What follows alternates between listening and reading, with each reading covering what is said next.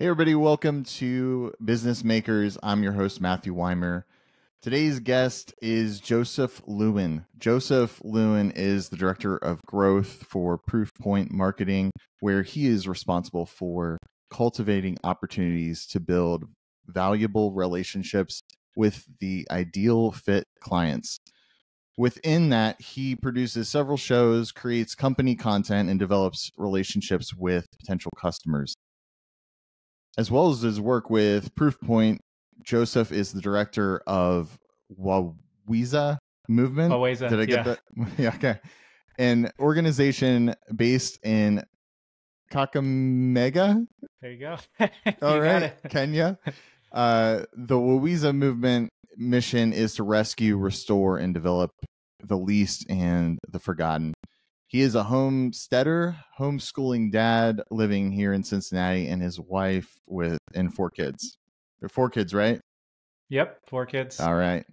Welcome, Joseph. Uh, glad to have you on the show. Thank you for your time, man. Yeah, Matt, thanks so much for having me on. Really looking forward to our conversation. Yeah. So you work for Proofpoint, and I one I'm I'm a big fan of the content you guys have been putting out with the Outbound podcast, but I've also uh, fallen in love with the website. I've uh, I've like gone through like the about and like the journey, like the journey. Like it's an incredible story. If you guys want to go to uh, their website, I'll put it in the link. But uh, and it's an incredible story how Mike and Gabby got started. But you're the director of growth, and how did you get started? Were you always into marketing? Uh, what what has that journey been like for you? Yeah, I mean, when you were describing the show and who the audience is for, I I think that uh, my story will probably be relevant. Um, I've always struggled with how to tell this story in a concise way, so I'll I'll keep it concise, and then you can uh, dig into it more if you want to. But Sure. um, I was homeschooled, and um, I really struggled to learn how to read. Like I basically couldn't read at anywhere close to grade level when I, um, you know, until I was probably 18, and and you know, then I was starting to become a better reader at that point. Um, but it really hurt my scholastic experience because I, um, I was diagnosed with dyslexia, so I I just really struggled with um, anything academic related. Um, so then getting out of high school, it was like, what what in the world am I going to do? I had spent a couple years in high school building decks and doing construction work, um, and then I started working for a company doing installing security cameras, and I did that till I was 21. Um, and then my wife and I uh, started doing long distance relationships. She I was living in Denver, she's from Cincinnati. So when we were getting ready to get married, I moved out to Cincinnati and started working for her cousin sweeping chimneys. And so that was a very manual labor Nice. intensive job. Uh, you know, Mike Rowe's, dirty jobs. I think chimney sweeping has got to be up Yeah. there. I'd get home like totally black from head to toe. Oh my god. Every single day, like you shower and it's just like black soot coming out of your hair. And See, when you watch when you watch Mary Poppins, like when you watch the like, it it, it probably brings back traumatic like like Yeah, it's- memories. Yeah. it's stressful. I'm not gonna lie. Yeah. not something you normally say about Mary Poppins, right? Um, Yeah. But I'd always done photography and video, and so you know I had a mark for content, uh, a uh, a knack is what I meant to say for content creation. But I was kind of stuck in this manual labor world. Um, and then you had mentioned Waweza Movement, the work we're doing in Kenya. So in back in 2014, I started taking photos and videos to help get sponsorship for kids in our program in Kenya. Um, and then that kind of led my wife and I did some uh, traveling internationally after that. So we ended up trading photos and videos in exchange for staying at hotels, like high end hotels and stuff like that. Um, And that led into doing product trade. So we got like this four thousand dollar organic mattress and a and a sauna and all this stuff. So we just started getting this portfolio of video content. Um, and then I realized, man, if people are willing to trade product, maybe they'd be willing to actually pay me for it. So that kind of launched me into a marketing business where I was doing just about anything in marketing. I started building websites and working on marketing strategy. Um, yeah, and I said I'd make it the short version. So basically, that kind of led led me to uh, end up getting a an official marketing role at my previous company as a product marketing manager, uh, and I basically used my portfolio of you know work that I'd done for some clients to land an official job. Um, and then I ended up starting a podcast while I was working there called The Strategic Marketer, where I interviewed super smart marketing people. And one of those super smart people uh, was, was Mike Grinberg, my now boss. Um, and that led to our um, to me becoming a director of demand generation. I was working on client accounts. And then I recently moved to director of growth here, um, focusing on podcasts and shows and things like that. So uh, definitely nice. have a very uh, windy path to any that's where I'm at today. But yeah, um, yeah, it's been fun. Very cool. So yeah, like it sounds like um, your time traveling was a little bit of a boot camp, kind of in that trading value. Like, um, what other things? Because I mean, I feel like that that travel has to probably build some certain like skill sets in you um, that you you have with you now in your tool chest.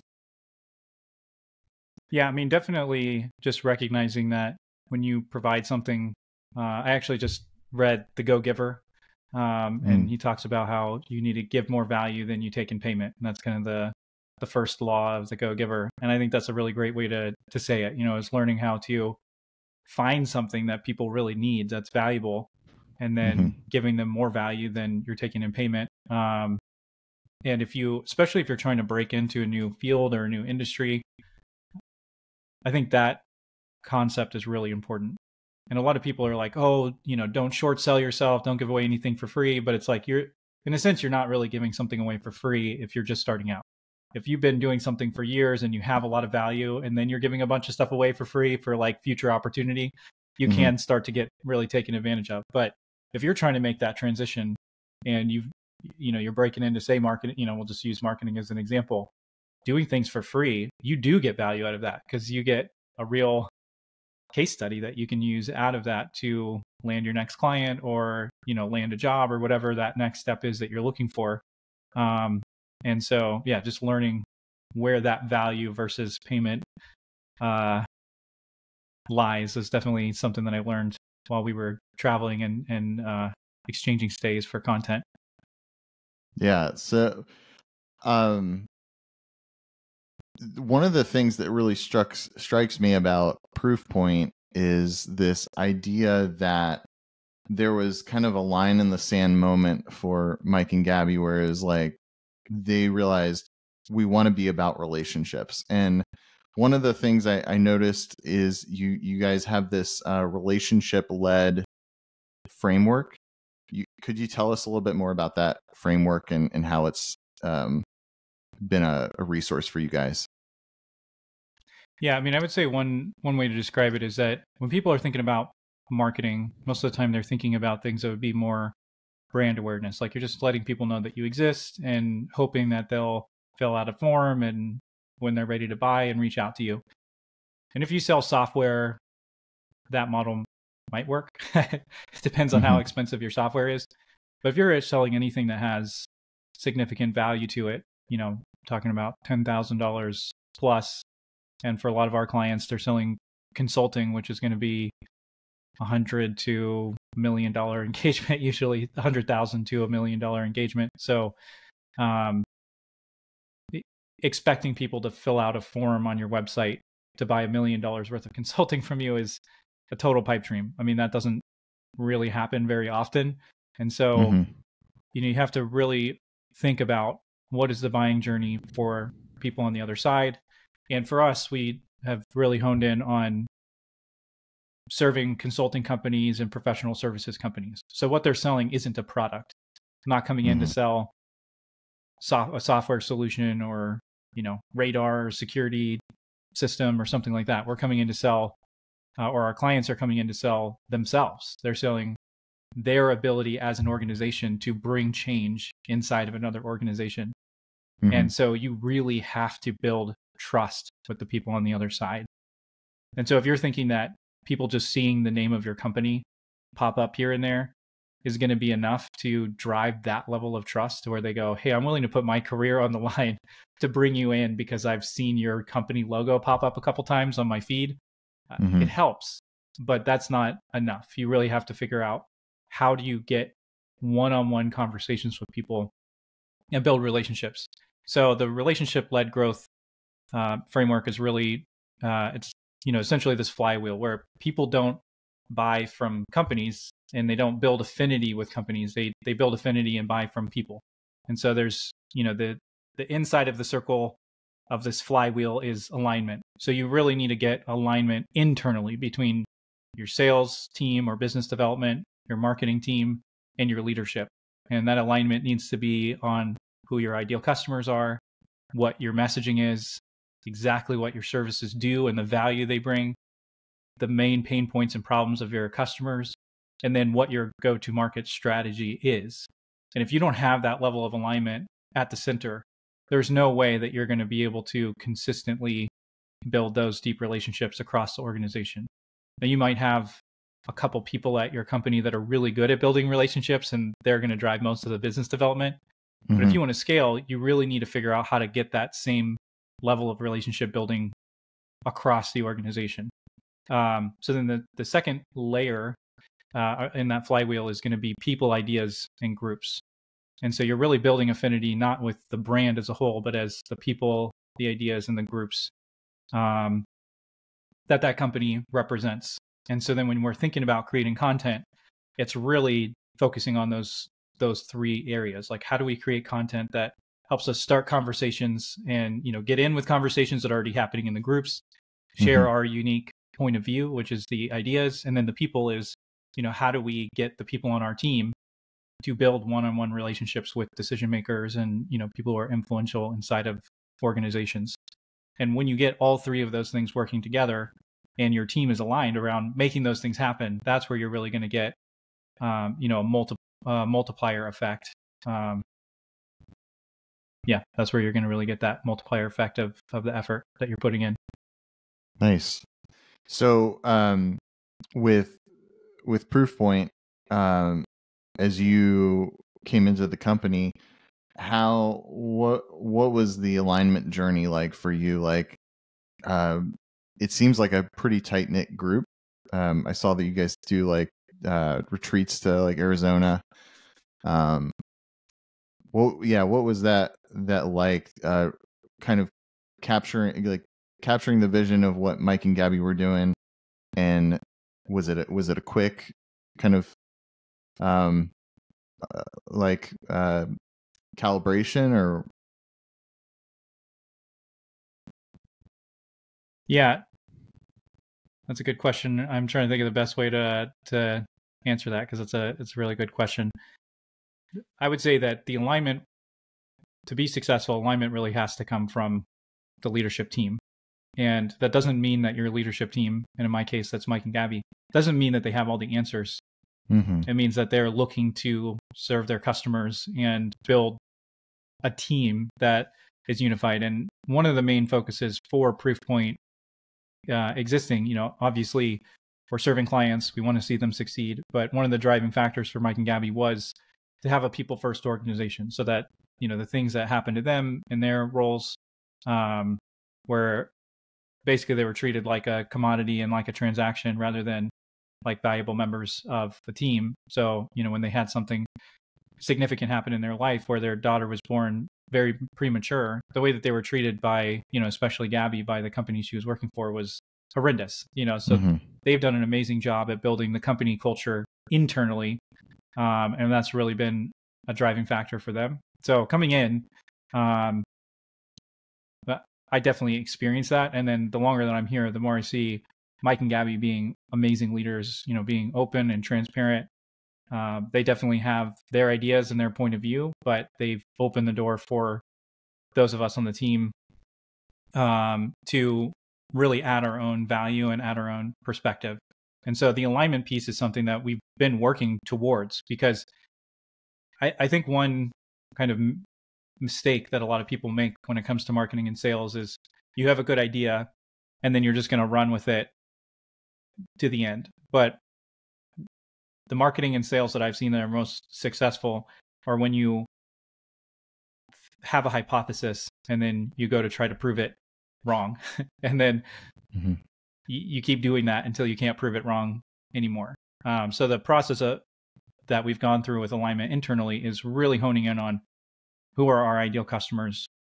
And we've kind of shifted our focus because we were doing much broader. When I started, we were focusing on a much broader audience, just kind of B2B in general. So we had some mm-hmm. software people that we'd worked with and some manufacturing and some professional services and consulting. So we're kind of serving a really broad group of people. So part of the alignment has been, you know, us internally figuring that out and getting aligned as we go along on, okay, who are we serving?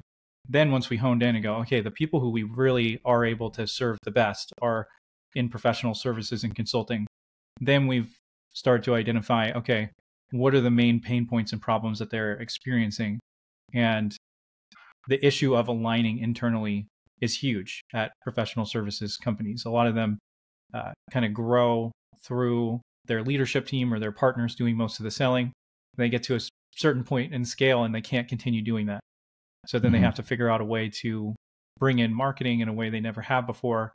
And mm-hmm. usually that marketing is coming in from a very tactical level, but they really need somebody on their team or a fractional leader, which is kind of the position that we were coming in in their organization to drive marketing strategy and you have to have that alignment between you know the marketing strategy your business development and your leadership team um, but we've really honed in on that over the last six to eight months and recognizing that so anyway i'm, I'm sharing all that yeah. to say that alignment piece we were aligned internally as a group of what are we trying to do mm-hmm. but then to really get that alignment you need leadership and the different leaders in, in your team and even people who aren't leaders to come together and bring their perspective. And I think your leadership team really has to be open to being wrong about their hypothesis and their assumptions if you're going to truly get alignment. And you know, you're hiring great people, so you need to trust them to bring their perspective in. But then the leadership team has to ultimately make the decision and say, okay, we've gotten the input from everybody. This is what we're going to run with and what we're going to test. Mm-hmm. And you know, then it's in that testing over and over again that you truly get to that level of alignment because you start seeing things move and you start seeing things work, uh, and then you can kind of focus in on okay, what has worked, and we're gonna really lean into that. Um, did that answer your question? Yeah, yeah, that's good. Um, so I noticed with your with your role, I love how you guys have kind of like a little tree of of the the organization. Um, I noticed that for you, there that you kind of have your own little branch. Um, what is there is there any like crossover or any kind of like? I mean, obviously, I'm sure if you you know you have team meetings, like you you yeah, you'll you'll know uh you'll you'll say hi to you know somebody in a, another branch or whatever, but uh is there any crossover or what is that like kind of being kind of isolated over over here you know um yeah i don't know if that question makes sense or not no it, it makes a ton of sense. That's been something that you know there's you kind of go through ebbs and flows with the size of company because we're a pretty small company. So mm-hmm.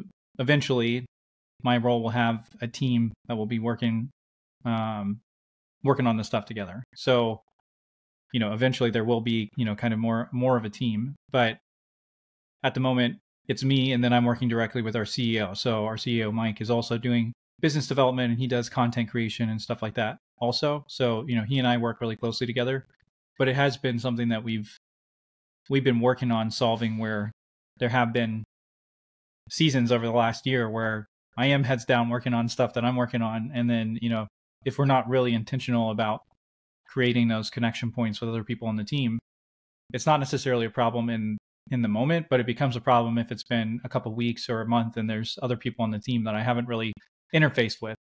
Mm-hmm. And that really becomes apparent if there's some kind of an issue that happens. You know, either something happens with somebody else or I do something that rubs somebody the wrong way or whatever the situation would be. That's when you start going, uh, oh man, like that connection becomes really important because if you haven't yeah. had connection with other people on the team, like one on one or, you know, even in a group setting where you're having non-work conversations with people, then you you can lose the benefit of the doubt that you get to somebody that you you know have that tight connection with. So, you know, especially over the last three or four months, because I'm not the only one that's in a role that's a little bit more isolated like that. Like we have now multiple people who are really focused on a specific department role and less on client work. Um, so in that case, we've had to really figure out how to be more intentional about that. So um, we really try to limit meetings because we're a remote remote company, and if you're not careful, you'll just be stacked in meetings all day, every day. Mhm. But then there's kind of Yeah. this interesting balance where if you get rid of too many meetings, yes, it's more efficient and everybody's time is more flexible, but you lose those connection points. So, um, one thing that we're testing out that, we, that we've just started recently is having a 45 minute block on uh, one day a week. It's just like optional, but it's coffee with your colleagues. And if you're free and you're available, then you just jump on and it's more water cooler type conversations like we're not focusing on work or you know anything that's going on it's just hey you know what's going on in your life how are the kids you know what's up Yeah. and it's amazing how far something like that goes to build build that connection and i think that's really easy to overlook when you're trying to create efficiency in your business that human element and human connection Yeah. Yeah. Um, how is it? Uh, is it is is most of the the group uh remote? Or yeah i mean we're a fully remote Fully remote. company so yeah. we have So that's got to be in california Super, florida yeah. So that's got to be really important to like create those connections and create like those those opportunities like where you guys can can uh yeah get get that synergy that you need. Um with the podcast uh you have outbound. So was that kind of a was that a brainchild between you mike or was that uh kind of something that you kind of saw like after doing the previous podcast? So yeah, I was running the strategic marketer for a while, um, and just with all the things we had going on at work, that's kind of slowed slowed down uh, being able to produce that. Uh, but then we, like you know, like I was talking about, where we're, where it's taken time for us to get that internal alignment, and I don't think there's any, I don't think there's any way around that. No matter where you're at in your organization, if you're going to truly get alignment, you need to make a hypothesis, like I said, and, and run after Mhm. it. So last year we were focusing a lot more on marketers and marketing leaders within companies and part way through the year um, i had talked to a bunch of people that were in the marketing roles that we would normally sell into and they're all like hey i've basically been told i can't spend any other any any more money this year. And i heard that i don't know probably 10 times in conversations over the course of a month uh, a month or two. And just with where things were going in the economy marketing is usually the first uh, uh, gets cuts a lot earlier than sales does. Mhm. um, and if the sales team is able to show that what they're doing is bringing a new business and pipeline they can usually get budget approval for something whereas marketing it's a lot more difficult to do that.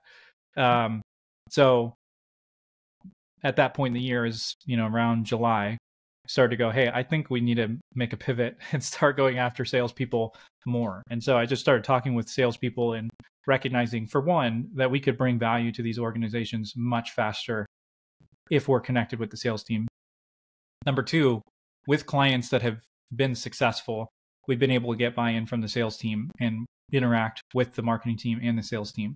And then companies where we've really struggled to uh, to prove out the value of what we're doing it's usually because either the marketing team is blocking access to the sales team or the sales team isn't really interested in in participating in what's going on um, you know from the campaigns that we're working on.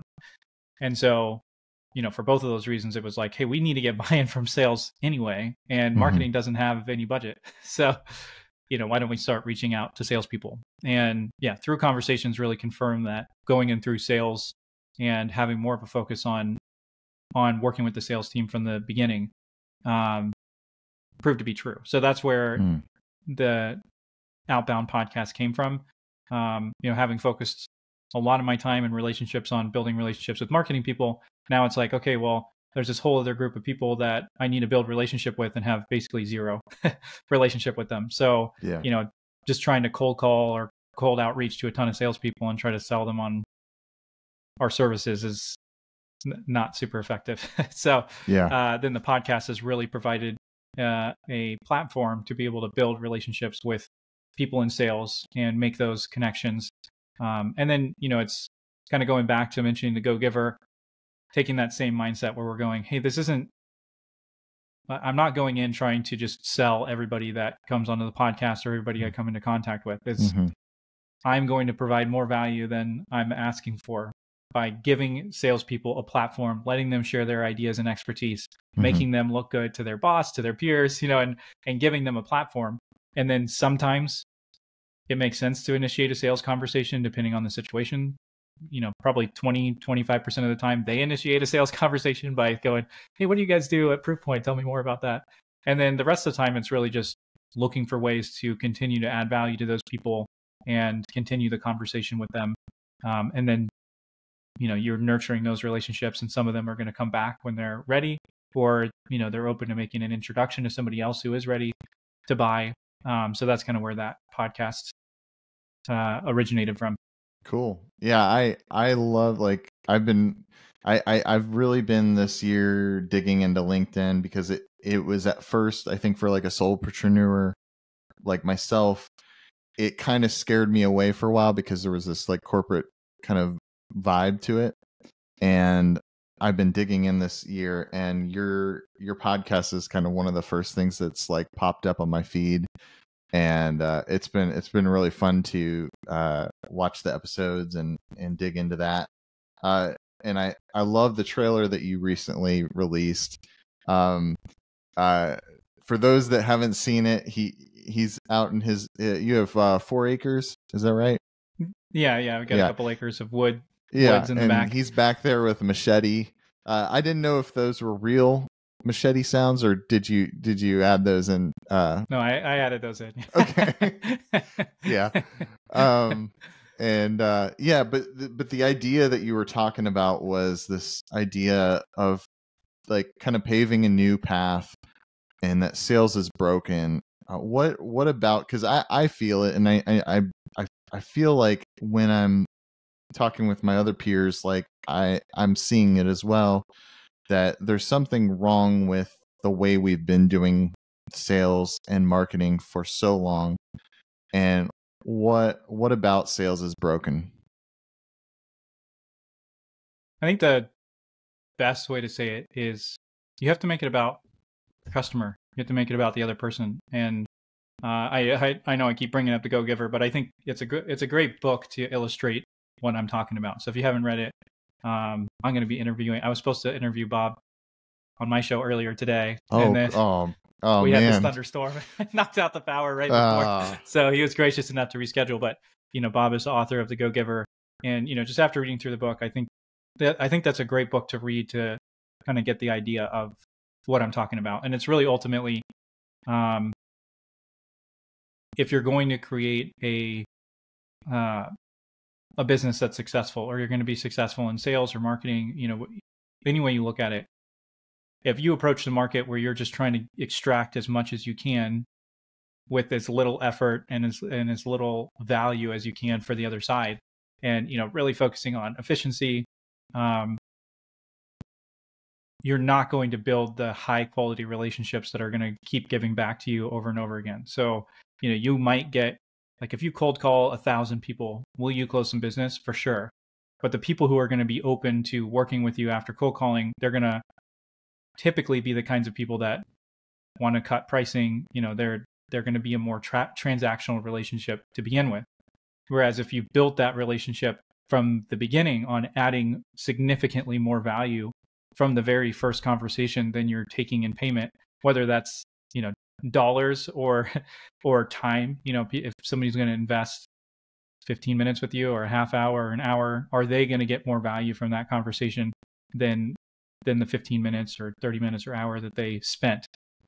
And for a lot of sales, the focus is really on how can I increase my pipeline? How can I grow my business? How can I get more sales?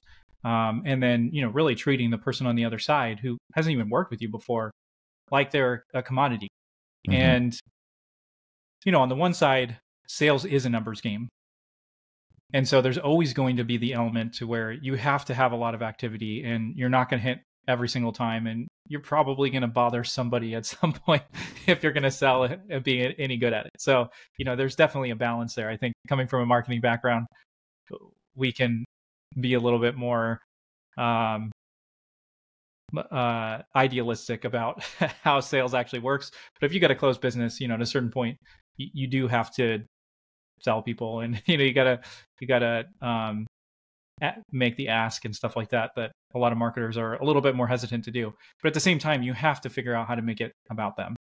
Uh, and that's where i feel like sales and marketing also are broken. I mean this week i've been added to probably four email newsletters from companies i've never heard of before and they're Mhm. just probably scraping my information from a company like Zoom Info, or they're you know I've never given Zoom Info permission to take my yeah. my information, but they're they're uh, scraping it and you know taking it in my opinion very unethical way, and then they're selling it, and then somebody else is buying that, and they think that that means that they can just email me like crazy, Yeah. um, and then I had to fill out a online form for for um, this home loan thing I was looking at, and I've gotten seventy plus phone calls in two and a half weeks from oh my gosh. putting you know from submitting this form, and that's you know combination marketing and sales.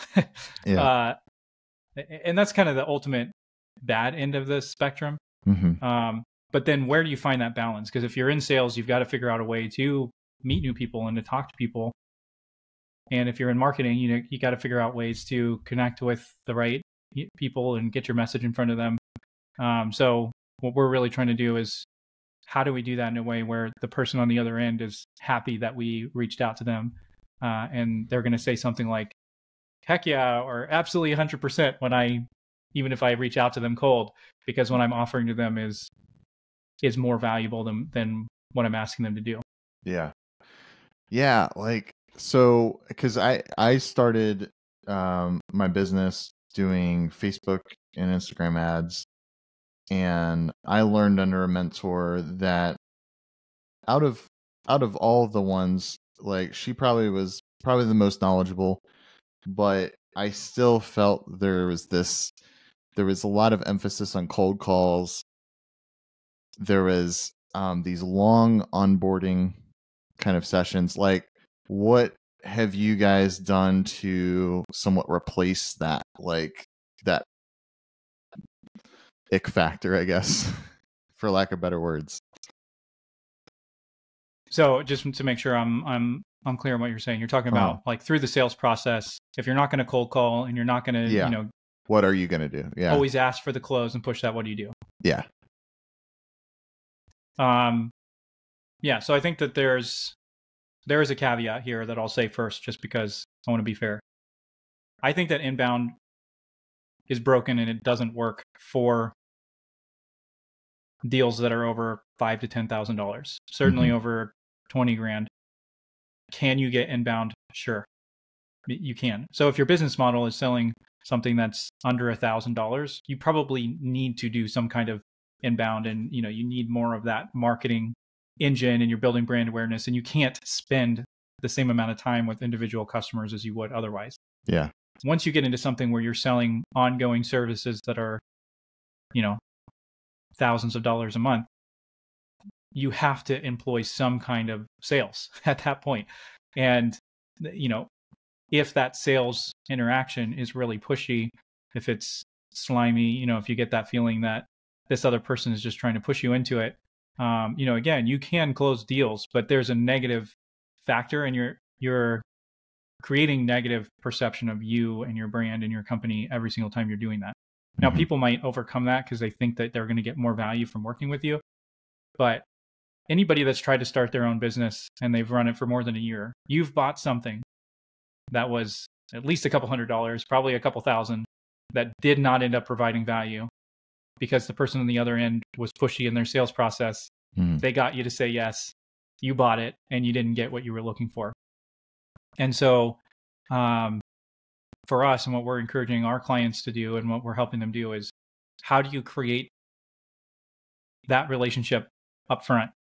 You know before you ever jump on a call how do you how do you create that value? And so we do that you know there's there's definitely more than one way to to skin a cat but the the typical way people build relationships in complex b2b sales especially consulting is they go to conferences and they go to events. And that is actually a great way to, mm-hmm. to build rapport you know and you invite prospects to dinner and you get to know them on a personal level and and then you know that leads to a business conversation and there's a ton of value there. And you know that is a great a great thing to be doing.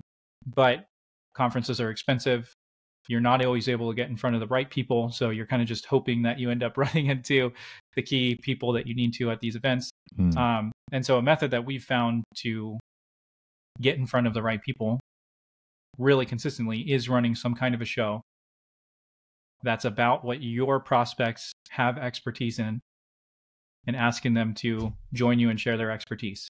And again, not as a sales pitch, but as, you know, think of it like a giant networking event that's the size of the entire planet. Mm-hmm. and yeah. anybody that has expertise in the area that your show um, focuses on, they're you're going to add value. And I think that's like the really important mindset shift that you have to make if you're going to take go with this route is me inviting somebody on a show is adding value to them and um, if they're going to say no, it's because they don't understand the value that they're going to actually get from doing that. But people pay a lot of money to speak at conferences and be in, in industry publications. And uh, there's whole services that are focused on getting you booked on podcasts and shows to promote, you know, your book or your point of view or whatever. So when you're offering that to somebody for free, yeah, there's serious actual monetary value in in you inviting them to come on your show. So we found that the show, uh, having people on your show like that and prospects helps you to build that initial connection, that initial rapport. You can have real, genuine conversations with people. And then, you know, like I said, sometimes they're ready to buy, sometimes they're going to ask you, had that happen. A lot of times it's more just a, a, a touch point that when you do have something that makes sense, you can just reach out to them at that point because you you have that connection. Um, so what I mean by that is if you've had somebody on a show and then say you change a service line or something happens in their business where now you really feel like you could add value, you can just reach out to them and say, "Hey, I think with what you know this change that just happened in the industry or whatever, uh, I think we would be able to add a lot, a lot of value to your team through our services. Would it make sense to schedule a call?" And you're not going to have every person that you've had on your show say yes to that, but if you're not doing that the second they get off the the second they get off the podcast, um, then way more likely because you've already built that warm relationship and that that rapport with them. Um, yeah, there's different things you could do too, but that's that's definitely the primary way where we've seen the highest impact for clients is is that model. Awesome, love it. Uh, yeah, I think that's huge. Um, uh, you know, to like there there's a certain point uh, there's this there's this one uh, influencer that I, I follow it's like uh like uh rich versus very rich. I forget the guy's name nicholas crown. And he kind of deals with like um like mindset like uh between somebody that thinks they're rich or somebody that's actually wealthy.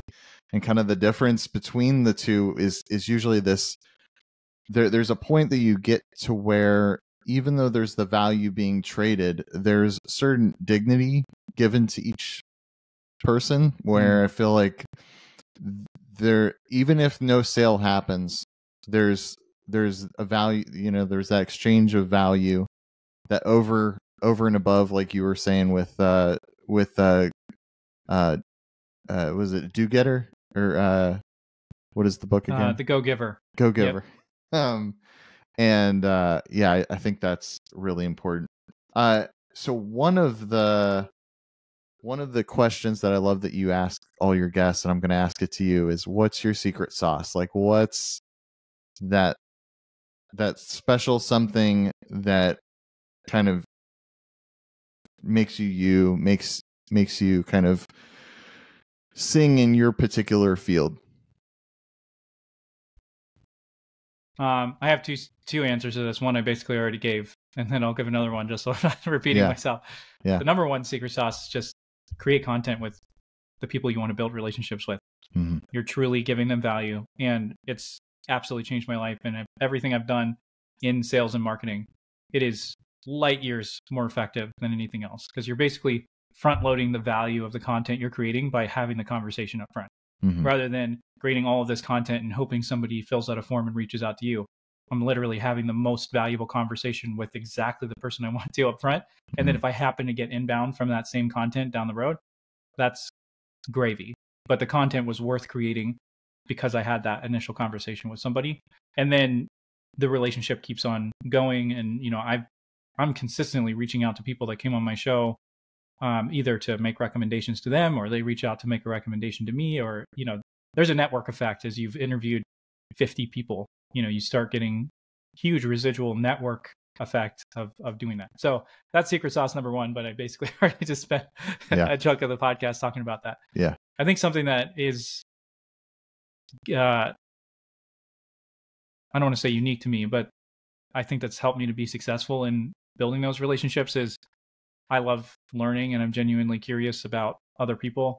And so when I have somebody on the show, I really actually want to hear what they have to say. And I'm constantly learning from guests. I mean, I've gotten so many tactics and things that I've implemented. Um, I mean, recently I had uh, a gentleman named Neil Barrow on the show, and his focus is events and event activation. And hit, uh, plug for the show, go listen to that episode because it's great. If you go to in person events, he's ta he's giving a step by step proactive approach you could take to events and that's really helped me even as i'm doing it you know working on doing events for us or when we're talking with clients to really help me to level up. So that level of curiosity i genuinely want to learn from the person on the other side.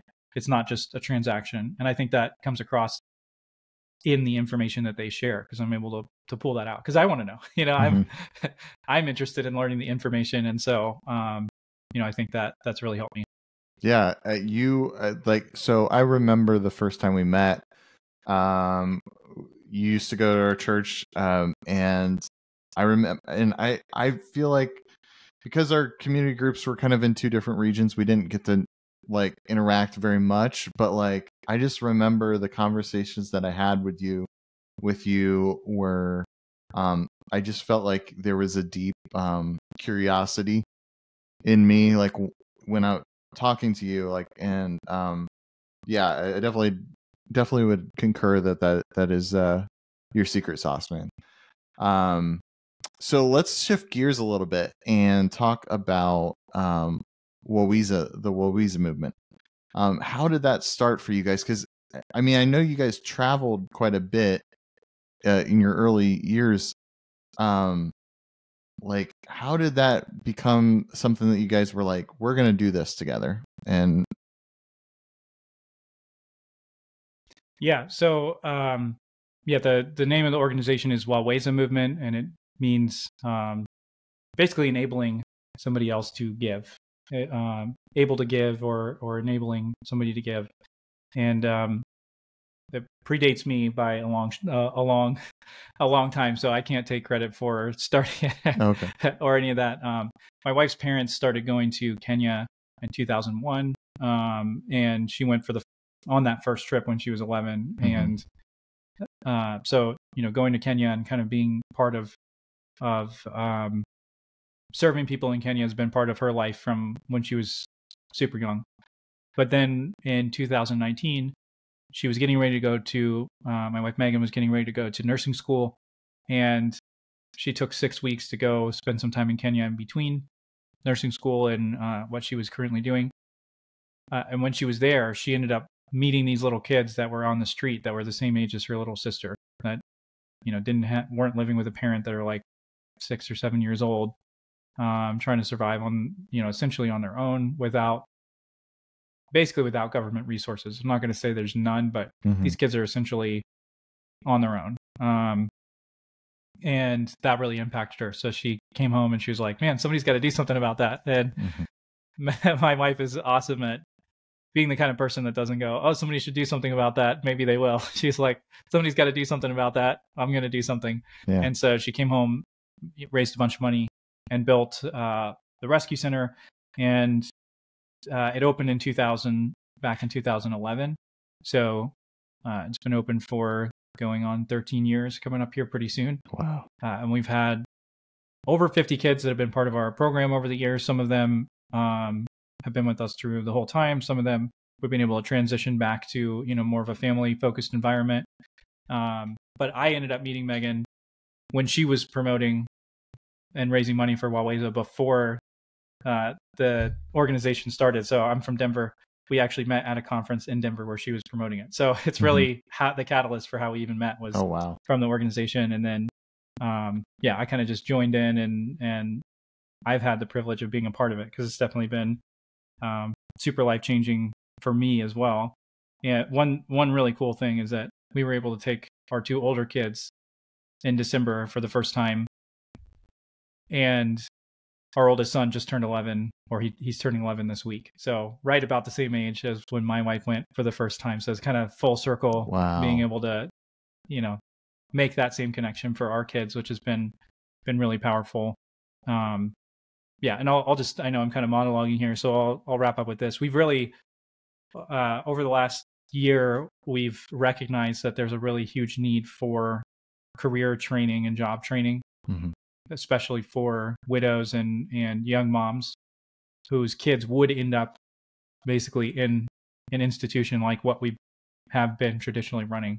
So we're really shifting the focus. We're still working with the kids that we have now through, you know, high school and for some of them college or trade school, but we're really shifting our program to focus on job training for especially starting out um, widows and single moms that have young kids and getting them skill training. So we're about to launch a program in the next few months that's um, a fashion and design program. So they're going to learn tailoring and um, we're kind of still working on it, but it's going to be somewhere between a year and two year program where they're going to go and get a certification and um, you know really hands on learn how to run a tailoring uh, business or a fashion and design business. Um, and so yeah, we've, we're kind of shifting towards that to go a level up so that you know the the moms of of these kids are able to get the skills they need and provide for their own kids so that their kids don't end up on the street and you know in a much more vulnerable situation Yeah. Wow. Yeah, that's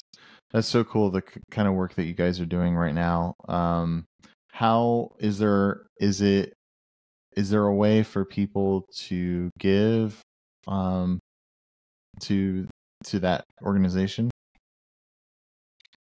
yeah um yeah our our website is wawezamovement.org so you can the easiest way is just to give through the website sorry i'm talking about earlier how i'm dyslexic so it's trying to spell that yeah, yeah. my brain out loud is always hard but Yeah. W A W E Z A, and then the word movement.org. Um, that's definitely the best way. And we're actually in the middle of purchasing a piece of land. So we've been working off of this uh, property that we don't own that's about three quarters of an acre. And we just purchased um, and are finishing or working on raising some funds to finish that, uh, the purchase of a six acre property. And so that's really going to long term be where our operations are going to happen out of and really provide the base for us to to be growing. So, um, yeah, if you want to go to our website and, and donate to that Yeah. land project, it would be super helpful. Yeah.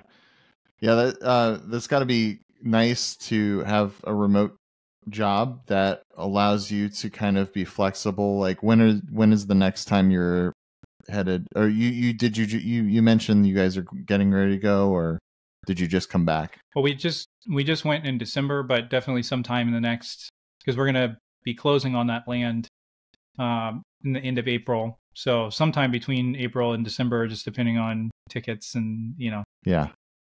uh, schedule and everything like that. Uh, I'm going to go probably take my oldest son again with me uh, on that trip. And uh, so, yeah, definitely we'll be getting out there again in the next six to nine months, somewhere in that range. Awesome.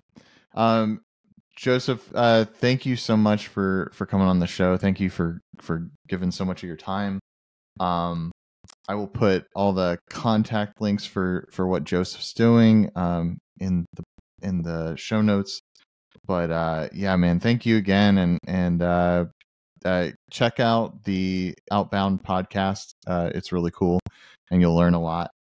Um, and yeah, we'll we'll uh, we'll have to connect again and and and meet for coffee in person because it's been a while. Yeah, man, absolutely. All right. Uh, thank you guys, and we'll see you guys in the next episode. All right. And I'm stopping.